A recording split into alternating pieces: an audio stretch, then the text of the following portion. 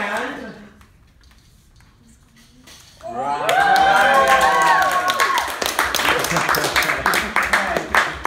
Ryan. Here are your gifts. Please display, show your friends your gifts. You guys got it. There's an older book in there. I talked to an art historian, and he said, get this older book. So if you would, open it, show everybody your presents. Next, two. Nice. Three. Yeah. Got in Rwanda language. Kinyarwanda phrase.